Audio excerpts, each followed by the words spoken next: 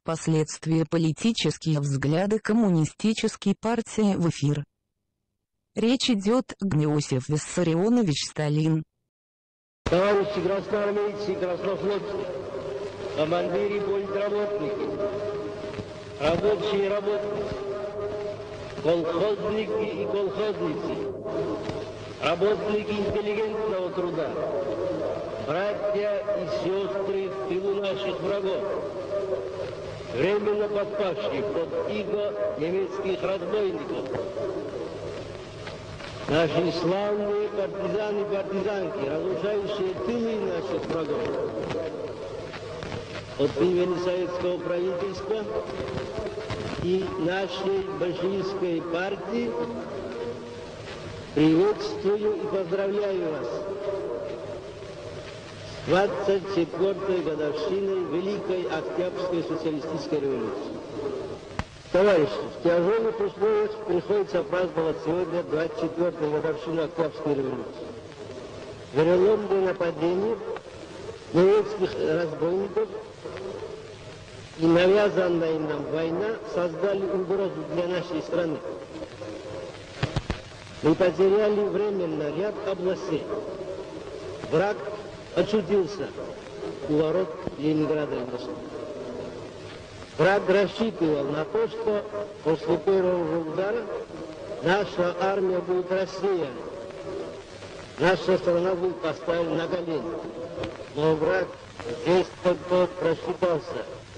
Несмотря на временный неуспех, наша армия и наш флот героически отбивают атаки врага на протяжении всего фронта, нанося ему тяжелый урон. А наша страна, вся наша страна, организовалась в единый боевой лагерь, чтобы вместе с нашей армией и нашим флотом осуществить разгром немецких захватчиков. Дни, когда наша страна находилась в еще более тяжелом положении. Вспомните 1918 год когда мы праздновали первую годовщину Октябрьской революции. Три четверти нашей страны находились тогда в руках иностранных интервентов. Украина, Кавказ, Средняя Азия, Урал, Сибирь, Дальний Восток были временно потеряны нам. У нас не было союзников, у нас не было Красной Армии. Мы ее только начали создавать. Не хватало хлеба, не хватало вооружения, не хватало обмундирования. И 13 государств наседали тогда на нас. Но мы не унывали, не, подали, не падали в одну войну организовали тогда мы Красную армию и превратили нашу страну в военный лагерь. Дух великого Ленина вдохновлял нас тогда на войну против интервентов. И что же? Мы разбили интервентов, вернули все потерянные территории добились победы. Теперь положение нашей страны куда лучше, чем 23 года назад. Наша страна во много раз богаче теперь. И промышленностью, и продовольствием, и сырьем, чем 23 года назад.